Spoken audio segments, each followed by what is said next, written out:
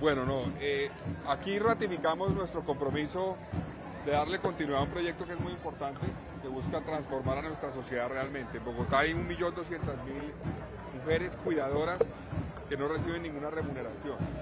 Las manzanas del cuidado, el sistema distrital de cuidado busca primero reconocer esa situación y trabajar obviamente para transformar a nuestra sociedad, para que puedan acceder a diferentes programas de diferentes entidades del distrito que les ayuden a formarse, a cuidar a sus hijos, a transformar también en su entorno muchas cosas. Por ejemplo, muchas mujeres toman mucho tiempo eh, en sus labores del hogar, temas que tienen que ver con lavar la ropa. Entonces tener aquí máquinas que les apoyan y que mientras tanto pueden eventualmente formarse en cosas para acceder a un empleo es muy importante.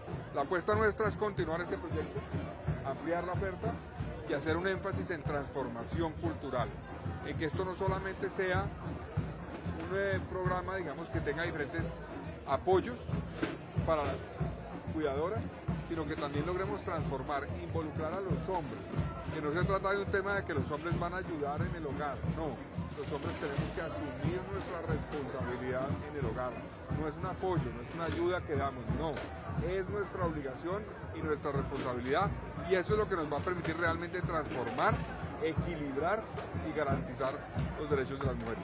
Alcalde, ¿qué gestión se está adelantando actualmente a nivel de gestión de riesgos en este punto de la manzana del cuidado, teniendo en cuenta que actualmente en este terreno eh, se presentan deslizamientos, remoción de masa y quiebras dentro del terreno? cerca, cerca aquí ha ocurrido eso, eso está obviamente coordinado por el IGER y estamos revisando qué intervención se requiere. En Ciudad Bolívar estamos haciendo varias intervenciones, ustedes saben, hoy entregamos la Alameda eh, y Limaní que conecta la estación del Paraíso con el Parque Limaní de Ciudad Bolívar y es parte también del ejercicio de resolver problemáticas que tienen que ver con eh, asentamientos que están en, zonas de alto riesgo no mitigable.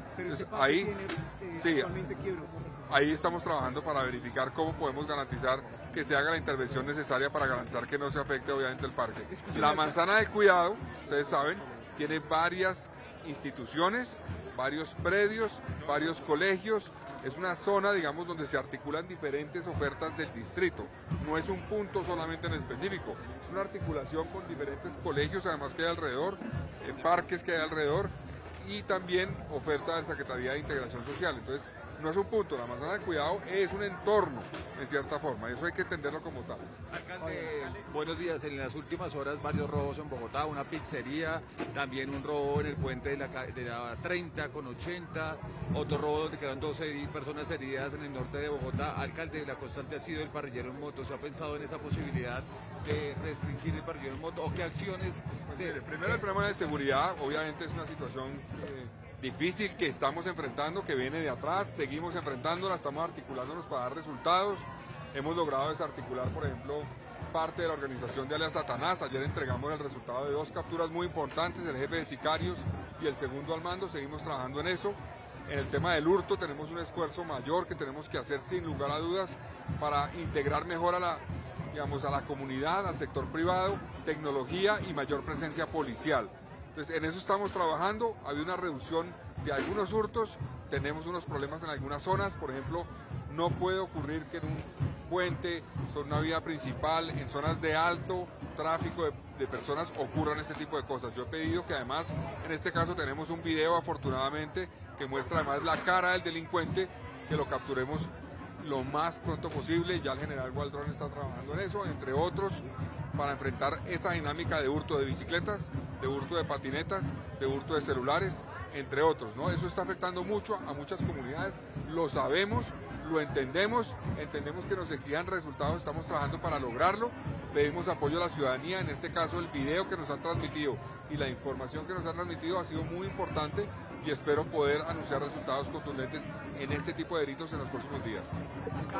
en las últimas horas hablaron de la posibilidad de hacer las eliminatorias en el Campín, pero dijeron que son nulas en la federación. Pues yo me voy a reunir con el presidente de la federación. Eh, para discutir diferentes cosas, entre esas seguramente el tema de la selección Colombia. Yo les digo, Bogotá va a tener el mejor estadio de Colombia y vamos a trabajar para que eso se cumpla, para que ese proyecto que ya está adjudicado se cumpla. Lo vamos a tener, ese proceso de construcción arrancará este mismo año y es un proceso que se va a hacer de manera gradual.